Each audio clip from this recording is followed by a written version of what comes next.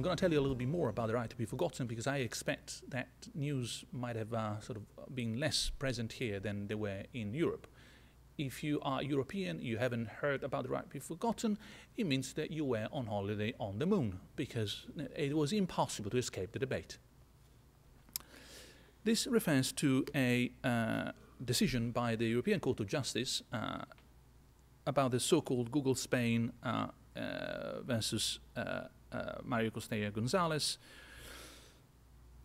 The story is quite simple. A long time ago, about 15 years ago or so, Mr. Gonzalez, a Spanish gentleman, had a couple of small properties repossessed.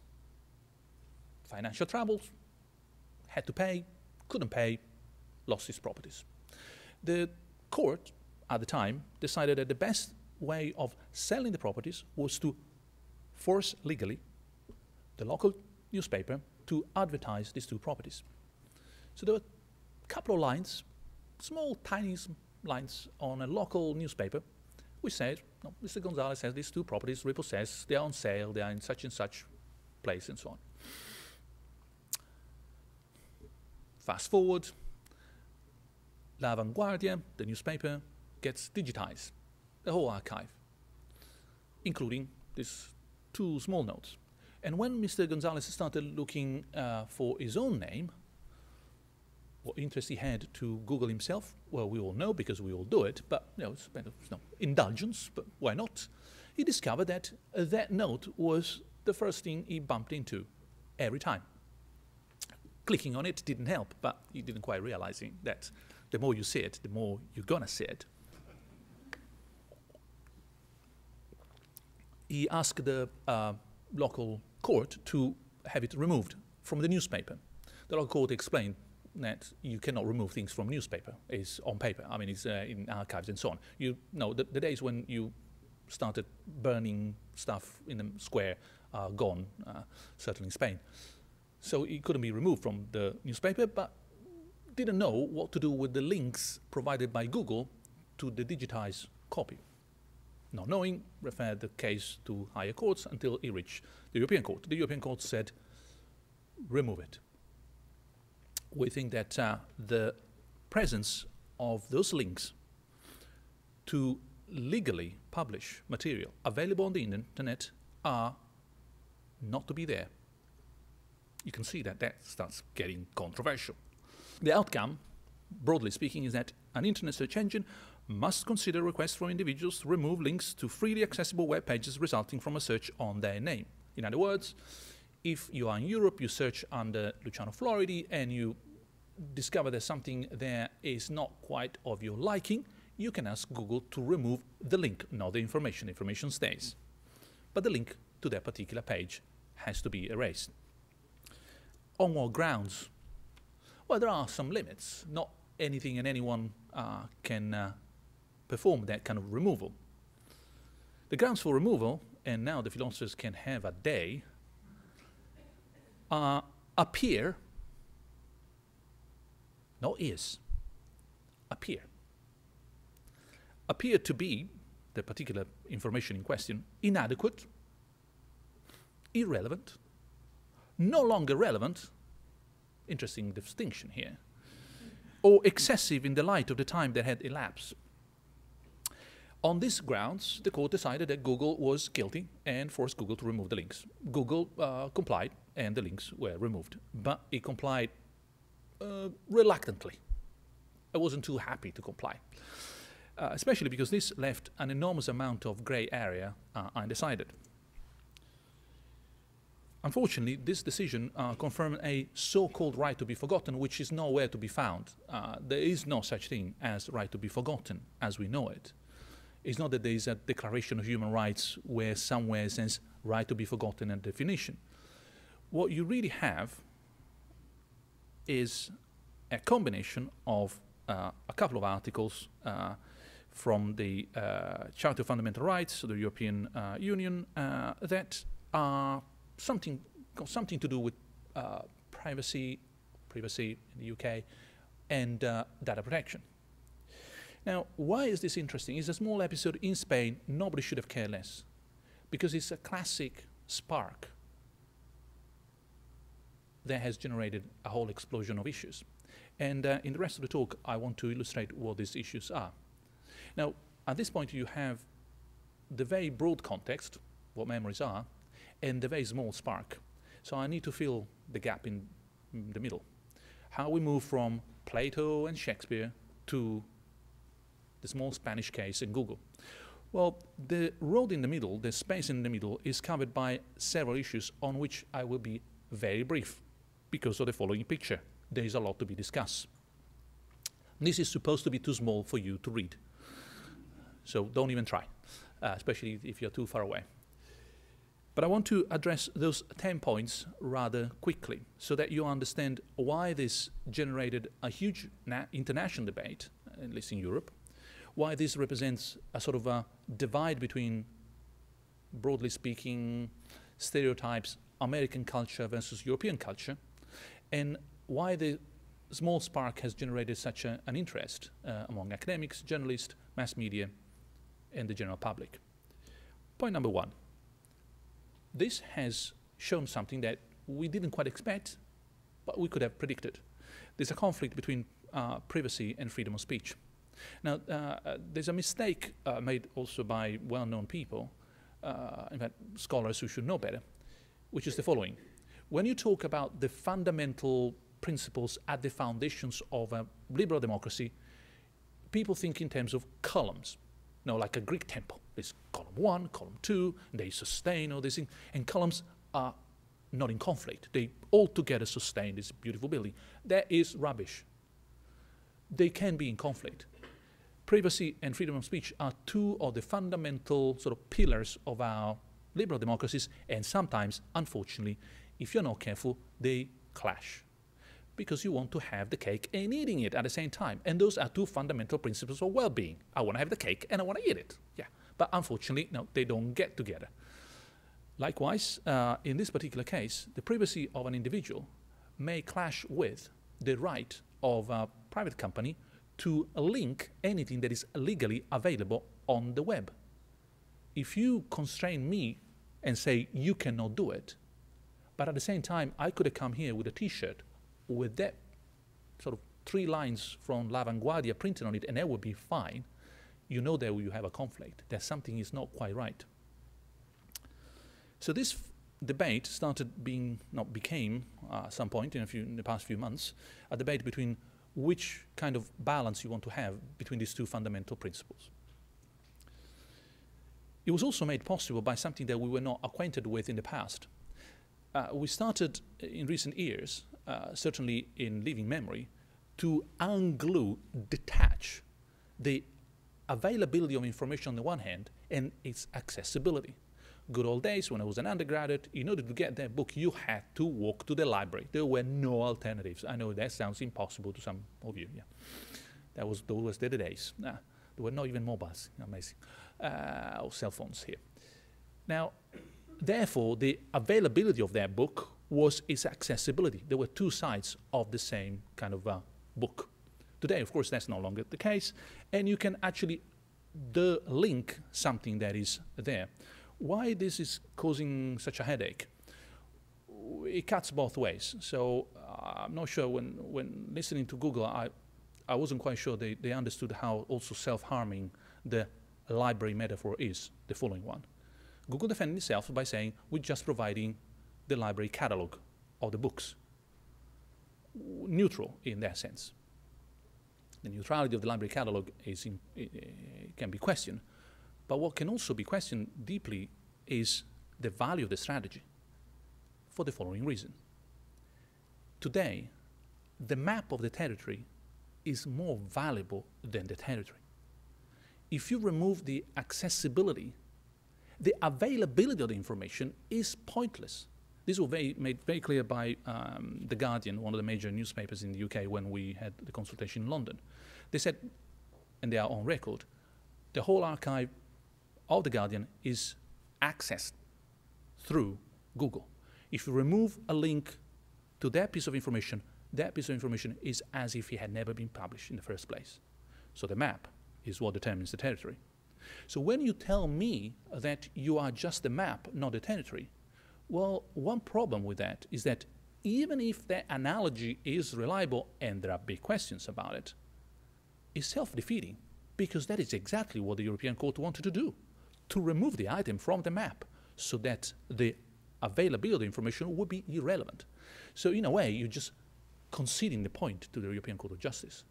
The reply is that, of course, in this dialectic, is that on the other hand, well, then becomes censorship. And it was uh, Jim Wales in our group complaining about, because if the map is so important, then removing items from the map is tantamount, equivalent to not having the information in the first place. And in this dialectic, you can see uh, how the problem starts becoming more important. New question. Who is in charge of this accessible, available information online which creates such a clash between fundamental principles? Politics? Business? The legal system? Well, at the moment, the, the solution that has been found, which is a, a, compromise, and as all compromises is disappointing for everyone, which is, means is a good compromise. Uh, you know, if any, any, anybody's unhappy, surely, you know, that's the nature of a compromise. Um, is that is Google that decides, or the search engine. No, could be any other search engine. Is the search engine uh, that de determines whether your request to have those links to your information removed is accepted or not. So paradoxically, the political power that wanted to reacquire control over information, and mind that political power since the times of Richelieu onwards, Westphalia system for the politicians among us, has always been an attempt to control information for good reasons, not necessarily for nasty reasons. Well, not Richelieu in that case, but uh, no, ask the Three Musketeers. Uh, but in that Westphalian context, with the state as the information agent that wants to regain control of information, having missed the train about 10 years ago when Europe left to private companies the control of search, thinking, oh, that's business anyway. And now realizing that, no, the map counts more than the territory. Oops, we left the map in the hands of American companies we are technically uh, speaking screwed. Uh, so now that it's time to regain control of the map, well, who is in charge here? Business or, pol or politics? Well, paradoxically, the third power, the legal system, decided business. And that's uh, strange because politicians are very happy about it, not quite understanding what kind of game has been played here. a beautiful problem for anyone with any acquaintance with the law. I'm talking to some of the experts here. Uh, Westphalian system, again, 16th century, more or less onwards, uh, no, 17th century, a bit later. Uh, Westphalia happens, I've used this before, forgive me for this. Westphalian happens between uh, the first volume of The Three Musketeers and 20 years later. You've seen the movie at least. No, at some point Richelieu is wearing a full armor, is no, fighting some other Christians that he didn't quite like. That was Europe for us. Uh, 20 years later, Westphalian uh, peace, and everybody's happy. How is everybody happy? My country, my rules. Your country, your rules. And that's, no, it took years. No, in fact, centuries. It took basically World War Zero in Europe, with no, a, a disaster comparable to the other two world wars, to reach that simple solution. But from that moment onwards, that was the thing. Now, France, French rules, French uh, king, and Spain, Spanish rules, and so on. Now, that means that geography is lending a hand to law. It means that if you have the boundaries of a place and they are clear to you, then you know exactly how far that law goes. Now, in this particular case, however, uh, you can't do that because that's so-called cyberspace. And in cyberspace, there are no borders. So where, how far do you want to go in asking a search engine to remove the links? Well, the solution that has been found, and we can have more Q&A on this, has been so far European level. So this is a Spanish case, but because it was a, a European Court of Justice decision, the delinking happens to all search engine implementations that are available at the European level. So if you look for uh, um, the name of someone, Spanish uh, gentleman in question, for example, the links have been removed from the uh, from Google UK, from Google IT, Italy, Germany, and so on, but they have not been removed from Google Japan, Google Brazil, Google US. Now, some people have argued, uh, especially the data protection agencies in Europe, that that should be the case. They would like to see that ruling applied globally to every implementation of search engine. You can imagine how reluctant a company based in California is to see a European Court of Justice decide which links can or cannot be removed in the search engine American version. But the territoriality remains with us as an issue. When you have the request, and you may or may not have sent one, uh, I met some people who have. Uh, so far, uh, Google has received something like 200,000 requests for roughly uh, a bit more than 700,000 or so, uh, if I remember well, URLs uh, removal. this is, by the way, technically speaking, for the engineers among us, nothing. It's a grain of sand on a small beach in the world for Google. Google removes URLs by the millions a week when it comes to other contexts. So the technical problem, not even Google raised it as an issue. It isn't. But there is a technicality in the technical problem. These are a request from you and me. And each of us has a different reasons for having that removal uh, sent to Google. Therefore, there is no software solution. It isn't just, oh, send a request and some kind of algorithm will decide if A and B and C conditions are satisfied, go. Nope. Every single request has to be analyzed by at least a paralegal, which is good for jobs, but bad for efficiency. There was a constraint about who could ask for the removal of the links, at least within the European context, uh, not public figures. Well, just because we are among thinking to academics, who counts as a public figure? It seemed to be obvious initially, politicians, yes, of course. But even politicians, they come and go in terms of political life. Is something that happened to me 20 years ago before I entered the political arena something that I could ask to have removed from Google search engine or not? Well, I'm a public figure now, but I wasn't at the time. And what if I wasn't, am, but will not be? What happens to me, you know, say, in 20 years when I'm no longer a politician? And of course, they are not just politicians. So at the moment, remember, uh, politics thought had found a solution, but it has actually put uh, Google in charge, or in fact, business. At the moment, we have a funny solution in Europe. It is Google who decides, or which decides, who is a public figure or not. And it's quite straightforward.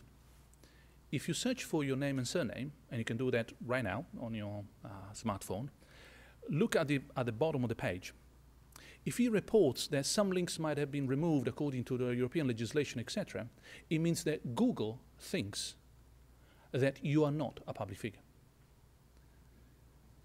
If you're a public figure, that line would not appear. I check my father, he is not. I check myself, apparently I am. And that's the difference between who is and who is not a public figure. Google decides. Of course, this is meant in order to protect the privacy of those who actually have requested the links to be removed. Because if you say, oh, by the way, look, this search, this guy has actually requested that some links should have been removed, what would defy the problem initially. The other reason for removing these links is public interest. But what is public interest? Again, uh, they didn't ask philosophers, otherwise we'll still be talking about it. And uh, uh, I say it's not quite clear. I mean, do I have a public interest in knowing that that gentleman in Spain actually had two properties repossessed. Well, to be honest, if I'm someone from the United States and I want to do business with that gentleman, well, maybe I would like to know that he didn't pay his debts and those stuff was uh, repossessed. Well, interesting. But certainly there may be no public interest in other things, like what I had breakfast for breakfast yesterday. On forgetting, forgiving, and recalling, I want to say something a little bit uh, more at length, so bear with me. On the relevance, remember some of the problems that we have is that, oh, some information might be just no longer relevant. Unfortunately, even in the report that we uh, produced for Google, their line has PAS, which is time-related understanding of relevance, which personally uh, I was happy to compromise. I said, everybody dis dissatisfied, but if I had been the only one to write the report, I would not have put it that way. The logicians among us will know perfectly well that relevance is a total nightmare, even in a completely controlled environment like symbols and very simple Boolean logic, you can't decide about relevance, not even there.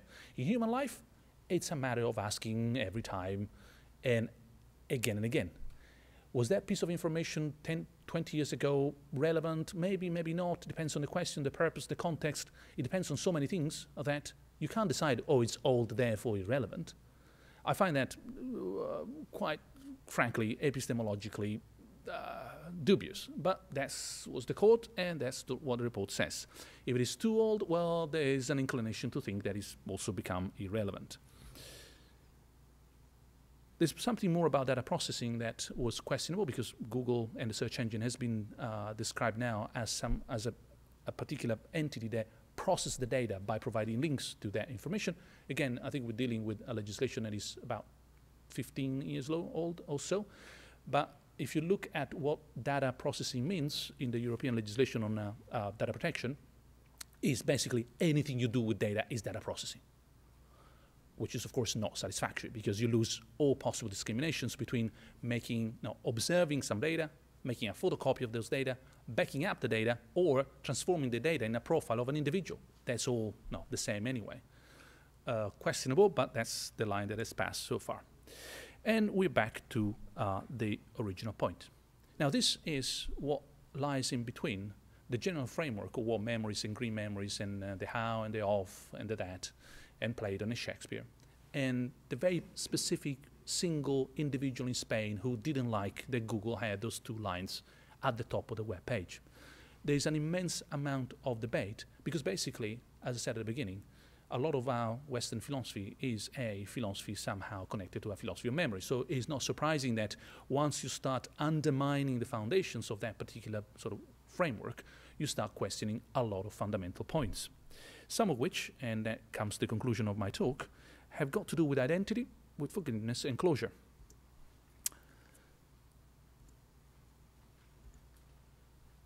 A quick word on identity. Um, there are roughly, and I'm, I know I'm on, on record, so uh, anyone who's going to see this, please forgive me. There are roughly two ways of looking at uh, personal data. One is in terms of a philosophy of economics. Your data are your, as in my house, my data, my car, I own it, you can't use it, and unless you ask permission, etc. That, that, that, that, all that line of thinking. And if you trespass, you're trespassing the boundaries of my property. Hmm? It's not accidental that no, it was developed here, it's 19th century, and it has that kind of a Newtonian economic, John Locke kind of background in, in, in, in its interpretation. Then there's another way of looking at personal information. And it's got to do not with the philosophy of economics, broadly understood, but with the philosophy of mind, of philosophy of personal identity. My data or my memories are more like my hand, my liver, my lungs, my heart. It's not that they are mine as I own them, are mine because they constitute me. This hand is not mine as in my car, but it's part of me. And if you take it away, you take part of me away. Remember, it's non uh, by making a, a, copy of my data, I'm not taking away uh, those data, but there's something about cloning here and uh, being intrusive that's got nothing to do with trespassing, but more like kidnapping. Now, why the distinction here? Well, because if you have memories and if you acquire personal data in a public space, for example, how can you defend that in terms of, oh, that's trespassing? Well, no, you are on a square gentlemen, so I'm not trespassing any space, or not metaphorically speaking, not even. And I can put all the CCTV cameras I want all over the place, UK being the country with most of them installed all over the place. Forget about China. We are the real business here. Uh, we're controlling our citizens carefully. Trespassing and ownership doesn't really cut deeply enough. But kidnapping, well, kidnapping is, is illegal even in public spaces. Uh, and if you take away information from me, is like cloning myself. That's something that I find disturbing, disappointing. It might actually start constraining who I am, what I can do, who I can become. So that's why the right to be forgotten and generally speaking a philosophy of memory is so important is about my data as in my body and that makes a difference. Of course, it makes a difference in terms of forgiveness, because a lot of forgiveness is based on a management of memory. It's not based on, on forgetting uh, necessarily, although that's much easier, uh, but it's you know, a careful management of what it means to have things left in the closet. And that's what I want to conclude with uh, closure. When, uh, when it comes to uh, memories from the past, one way of understanding closure is remembering without recalling. If you had had a fight with a friend, if your spouse and you didn't quite get along last weekend, you don't want to forget, but you don't want to recall that event again and again, because that wouldn't be closure. Likewise, if you lost someone, that's not about forgetting that you lost that someone. On the contrary, you want to have that memory very green in your mind, but you don't want to have it made green again and again. Like a scar is there and it's there forever, but you don't want to scratch it every time. The blood doesn't have to come out. So in this particular case, uh, when it comes to right to be forgotten, as a particular misnamed, and we all agreed on all sides that this was a bad uh, label, it stuck, so that's too late. But it's one of those things, it should have never been named in that particular way. Well, it is important because uh, when it comes to wider and bigger issues, when our governments that are asking for the linking, and they have been requested, well, one thing is an issue is, for example, peaceful cohabitation between different uh, ethnicities. One reason, and I know ethnicities, but different religions, uh, orientations, one reason why we, it took so long to get some peaceful agreement in Northern Ireland was because generations were educated to never let go, constantly rehearsing, regurgitating all the harm, all the violence, all the nasty things that we have been doing to each other. That's the Palestinian problem is always the problem that is the major obstacle before any peaceful talk. Sooner or later, after maybe millennia of you know, human terror and, and fight and pain, we will sit at that table. How fast you get to that table? Well, that's a matter of closure. And a matter of closure is a matter of philosophy of memory. So it is also a matter of rightly managing your past memories. It's not about forgetting, but it is about not recalling. And this is why we could conclude with a bit of biblical wisdom. Hard not to find something wise in the, uh, the Bible these days. So this is Isaiah, and uh, he's talking about the Exodus. And he says, talking to his friends, uh, remember not the former things, nor consider the things of old. Now, why is this so crucial? And I can give you the Vulgata, which is actually a little bit better than the English. It says, ne memineritis, which is not forget, but is do not recall all the time. Now, the Exodus for Israel is not something that is supposed to be forgotten. Never. But it's something that you don't want to be stuck with when the new life, after so much pain, is in front of you. So, this is a perfect example of precisely not the right to be forgotten, but the right to see memories sediment in a way that provide the ground for the future. So they do not become an impediment towards development, but they actually provide the roots for the flowers to come. And I hope this can open a Q&A of some value. Thank you so much.